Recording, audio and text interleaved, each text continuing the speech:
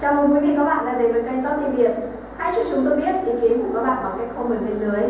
Và đừng quên nhấn đăng ký kênh, biểu tượng chuông bên cạnh để nhận thông tin mới nhất. Và sau đây thông tin chính có trong bản tin ngày hôm nay. Anh trai Pogba nhận xét phũ phàng về MU. Matthias Pogba, anh trai của Pogba đã có nhận xét có thể khiến cổ Real Madrid không hài lòng. Theo Matthias Pogba, hiện tại MU chỉ có đúng một cầu thủ lớn là David De Gea, Lê Pogba sẽ chịu trách nhiệm gánh đội ở mùa 2019-2020. Matthias Pogba đưa ra nhận xét này khi như trả lời phỏng vấn trên LTD Guto về vụ em ruột của mình không thể rời MU vào mùa hè 2019 để gia nhập Real Madrid. Rốt cuộc Pogba không thể rời Man United, giờ em tôi sẽ tập trung trong mùa giải này. Mọi việc không hề dễ dàng bởi Pogba phải gánh vác rất nhiều trách nhiệm. Rất nhiều cầu thủ lớn đã rời MU trong những năm qua, hiện tại họ chỉ còn duy nhất David De Gea là cầu thủ lớn. Vì thế Pogba sẽ phải cố gắng và nỗ lực rất nhiều ở mọi trận đấu, Matthias Pogba nói. Pogba đã công khai ý định rời MU sau mùa giải 2018-2019. Tuy nhiên tuyển thủ Pháp không thể đi vì Real Madrid và Quỷ Đỏ không tìm được tiếng nói chung trên bàn đàm phán. Theo Daily Mail, MU hết giá Pogba 150 triệu bảng, mức giá mà Real Madrid cho rằng quá cao.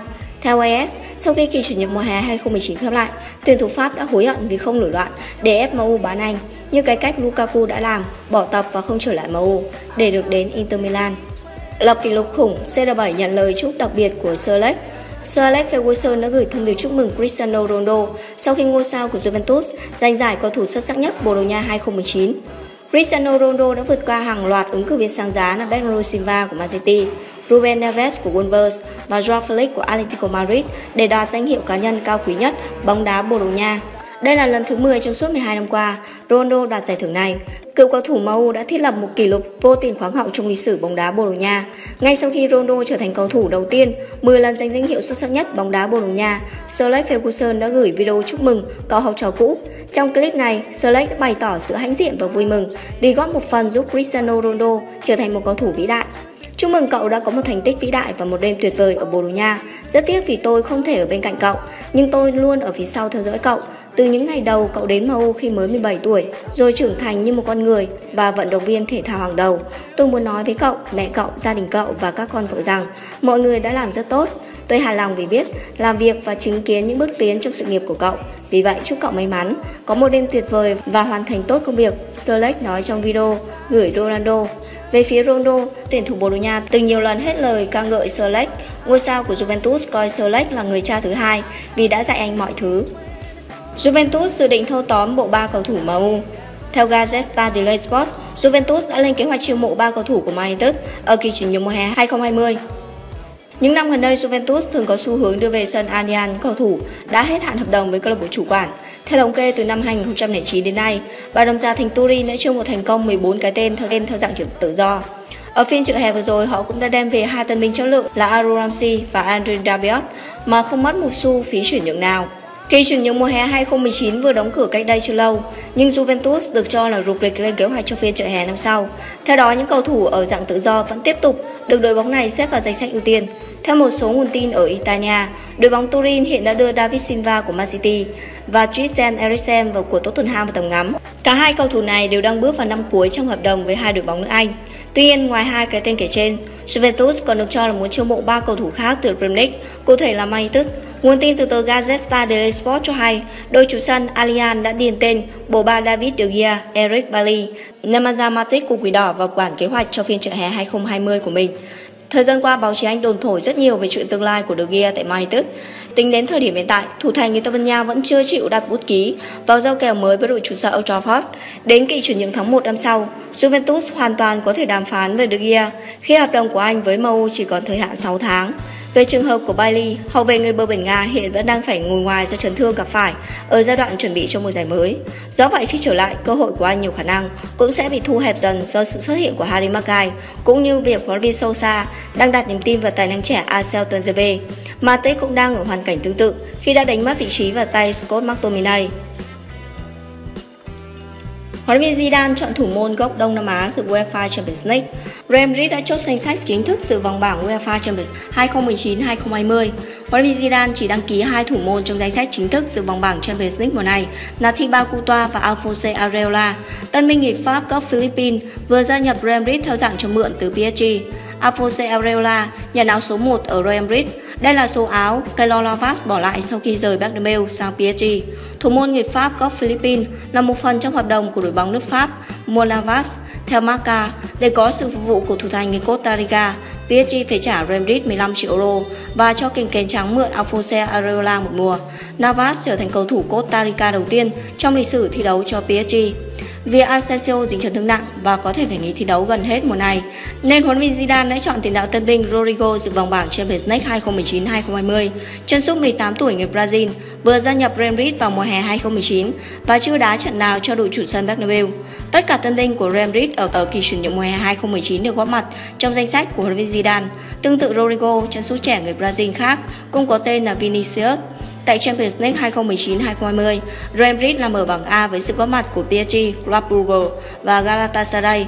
Kênh kênh trắng sẽ khởi đầu chiến dịch chinh phục giải đấu này bằng chuyến làm khách PSG vào ngày 19 tháng 9. Trong trả tiền đền bù cho một cầu thủ, Barca bị kiện.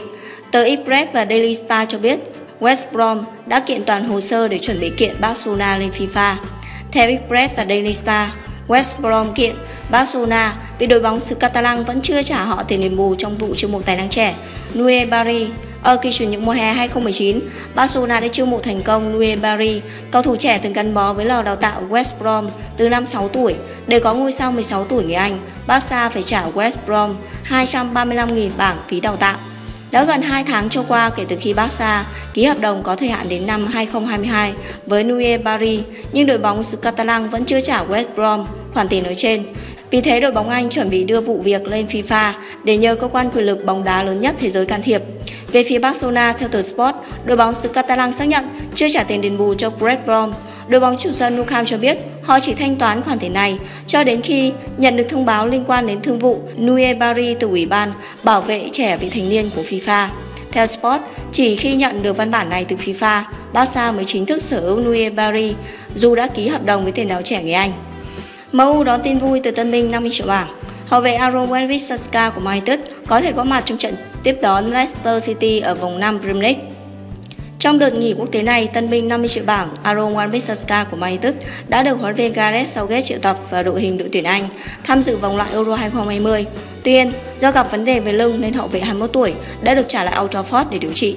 Theo Telegraph, Wan-Bissaka vẫn có thể cố gắng chơi trận ra mắt đội tuyển Anh trước Bulgaria hoặc Kosovo, nhưng các thành viên ban huấn luyện cho rằng không nên mạo hiểm với chấn thương, bởi lẽ cũng chỉ là hai đối thủ rất yếu so với Tam Sư. Như vậy, huấn luyện viên Southgate chỉ còn hai lựa chọn cho vị trí hậu vệ cánh phải là trên Alexander Arnold và Kieran Trippier. Cũng theo tờ báo trên, hiện Wan Bissaka đang tập hồi phục ở Old Trafford và sẵn sàng góp mặt trong trận đấu với Leicester City tại vòng 5. Từ đầu mùa, cựu cầu thủ Crystal Palace đã chơi cả 4 trận cho MU và gây ấn tượng với lối chơi tốc độ và giàu sức mạnh. Mặc dù cả hai hậu vệ tân binh Aaron Wan-Bissaka và Harry Maguire đều đã thể hiện được những phẩm chất của mình, nhưng hàng thủ MU vẫn chưa có sự gắn kết. Thủ thành De Gea phải vào lưới nhặt bóng trong cả 3 trận đấu gần nhất. Sau đợt nghỉ quốc tế, MU sẽ tiếp đón Leicester City trên sân nhà. Đây cũng là trận đấu được dự đoán không dễ dàng với thầy trò sâu xa, bởi The Foxy đang có phong độ rất cao từ đầu mùa, bất bại 5 trận trên mọi đấu trường. Postco công kích 3 sao MU. Huyền thoại Man United Moscow đã công khai chỉ trích ba ngôi sao là Popova, Nemanja và Ashley Young bởi màn trình diễn hời hợt trong trận hòa Southampton. Theo cựu tuyển vệ người Anh, vì đó cần 4 đến 5 kỳ chuyển nhượng nữa để huấn luyện Ole Gunnar Solskjaer xây dựng lực lượng và sẽ không thể cạnh tranh chức vô địch Premier League trong ít nhất 2 năm tới. Pep muốn có người thay Laporte, theo Daily Mail, huấn luyện viên Pep Guardiola đang có ý định đưa về một trung vệ mới ở kỳ chuyển nhượng mùa đông do Americ Laporte phải nghỉ thi đấu dài hạn sau ca phẫu thuật chấn thương đầu gối.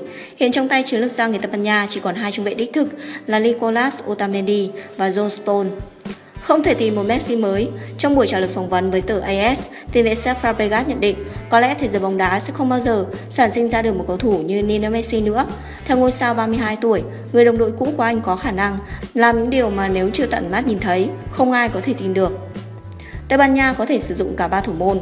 Tân huấn luyện trưởng đội tuyển Tây Ban Nha Robert Moreno cho biết ông có thể sử dụng cả ba thủ môn là David De Gea, Kepa và Paul trong chiến dịch vòng loại Euro 2020. Trong đó, De Gea và Kepa được cho là hai người sẽ cạnh tranh vị trí chính thức trong vùng gỗ của La Rocha. Sao trẻ Real được vinh danh Tài năng trẻ Martin Odegaard mới đây đã được bầu chọn là cầu thủ xuất sắc nhất tháng 8 của Real Sociedad. Tiền vệ người Na Uy hiện đang đá cho Sociedad theo bản hợp đồng cho mượn một năm từ Real Madrid và đã ra sân cả 3 trận từ đầu mùa, đều đá đủ 90 phút tại La Liga, ghi được một bàn thắng. Thái Lan chọn đội trưởng bất ngờ, huấn viên Akira Nishino đã bất ngờ khi chỉ định thủ môn Siwarak Tesung Noel làm thủ quân cho trận đấu với Việt Nam. Dù đã 35 tuổi nhưng người gác đền này, nhưng người gác đền này mới có 19 lần khoác áo voi chiến trong vòng 16 năm qua, vừa và thường chỉ là lựa chọn số 2 hoặc số 3 trong khung gỗ. Neymar tái xuất cho áo Brazil. Báo giới Brazil đưa tin Neymar nhiều khả năng sẽ đá chính trong trận giao hữu giữa Seleca với Colombia vào thứ Bảy tuần này. Do chấn thương và bị ảnh hưởng bởi vấn đề chuyển nhượng, tiền đạo 27 tuổi chưa ra sân cho PSG dù chỉ một phút từ đầu mùa. Cảm ơn quý vị các bạn đã theo dõi video của chúng tôi. Hãy cho chúng tôi biết ý kiến của các bạn bằng và đừng quên nhấn subscribe ký để nhận thông tin mới nhất. Bây giờ xin chào và hẹn gặp lại.